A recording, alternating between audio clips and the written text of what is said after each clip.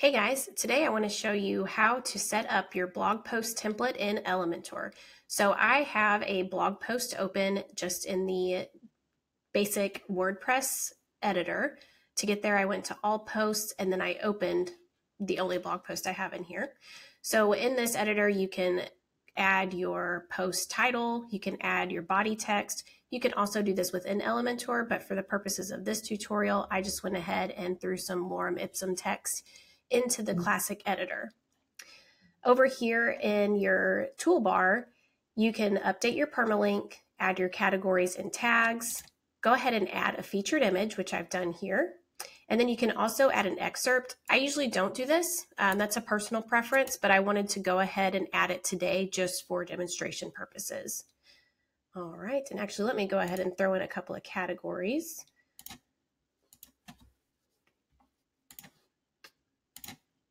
We'll just have blogging and uncategorized. I'll call this one blogging. Okay, now let me hit update. Okay, now what we're gonna do for our, to create our post template, instead of going to edit this individual post, I'm gonna create a template that will apply to this post and all future posts that I create, as well as any other posts that I've, that might already exist in my blog. So I'm going to come down to Elementor, to the templates. Then I'm going to click Add New. And in this drop down, I'm going to choose a single for my type. And I want it to be a single post. And I'm going to call this single post template. I'm going to create the template.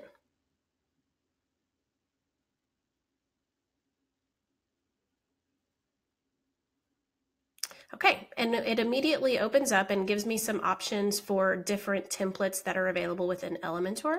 I'm going to go ahead and click this first one. I'm going to insert it. Okay, looking good so far. So this pulled in the header that I created just in the WP admin dashboard through um, our Ocean WP theme. Um, and it will also put in the footer that I created there as well.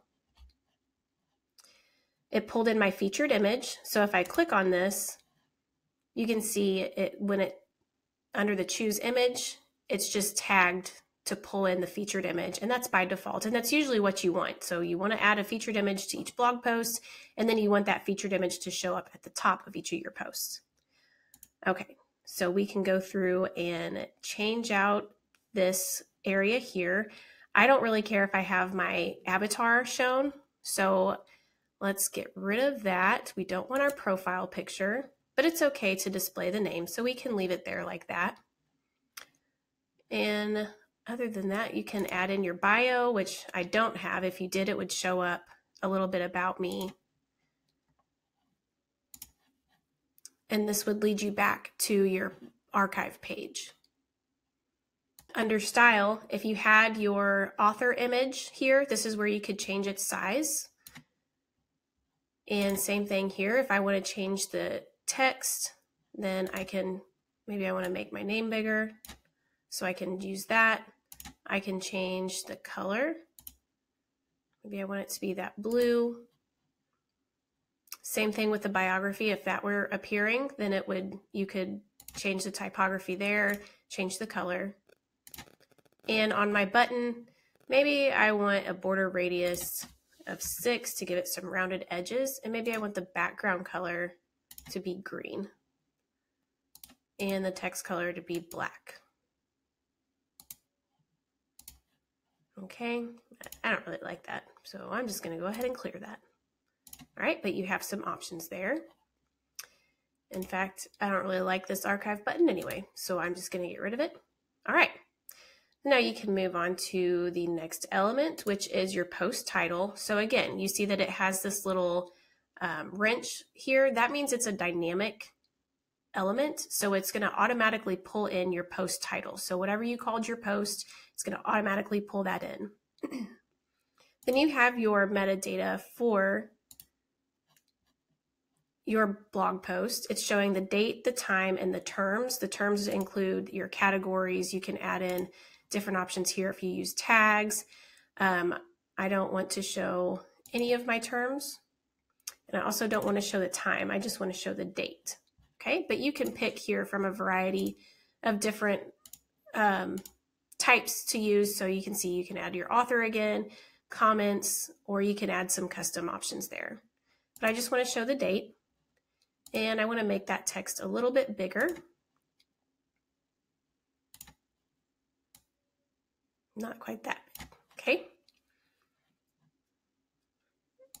Okay, and this is my excerpt. You remember I had a little excerpt here? So the, again, you see this little wrench icon and post excerpt. So it's going to pull in whatever you had entered for your excerpt. If you have nothing, it's just, there's not going to be anything there. Then you have your text here. Okay, and then you, rather, then you have the body of your um, blog post here. So you can use, I just plug this into the WordPress editor. Um, you can add your headings there directly in the WordPress editor, or once you set up this template, this is, it's showing the blog content. And in fact, if I, or the post content rather, if I drag this over, see it's going to duplicate that, okay? So when we click here, see it shows edit post content. That's the same thing that it's doing here, edit post content. I just wanted to show you that that was the widget that was used by default since it doesn't show the little wrench element like or the wrench icon like it does in other places. Okay, so this is your post content. Whatever you have here in the WordPress editor, it will pull over. Um, if you don't have anything in your WordPress editor, you can edit your content directly in Elementor. Down here in this section, you have the share this post feature with your share buttons over here.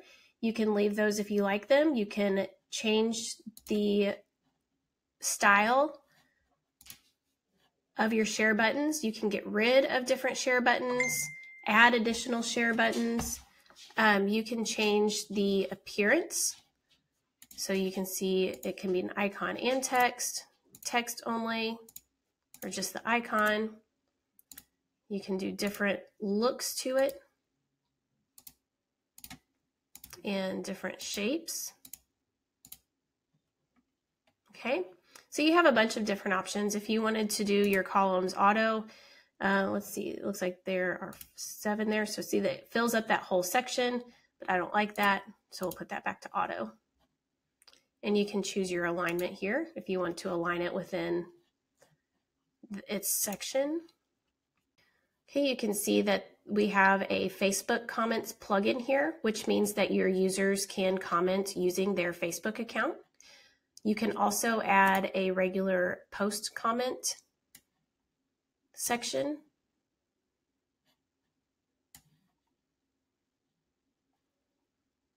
If I can add it to the right place. Okay, and it looks like I've got comments turned off on this post, but if I had my comments turned on, and I can show you where to do that, then users would be able to comment on this post without being logged into Facebook. So you have a couple of different options here for comments if you want to allow your users to post comments on your blog posts. So I'm going to click publish and I want to include it to all posts. Publish. Okay. Now I'm going to exit to dashboard. Okay, and I want to show you where to turn off or turn on comments. So if you navigate to your settings and then to discussion,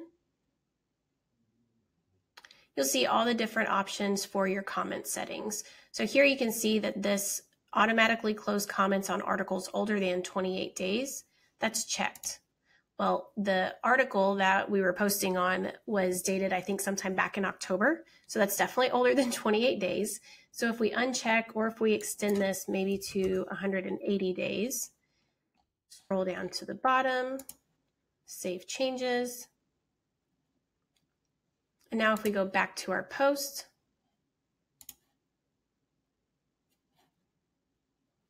and let's do a preview.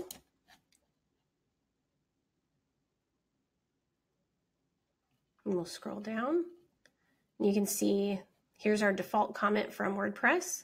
And I can also, since our posts or our comments are open again, I can go ahead and post a comment here, or I can add a post as a Facebook user. And you can see you can also post this directly to Facebook.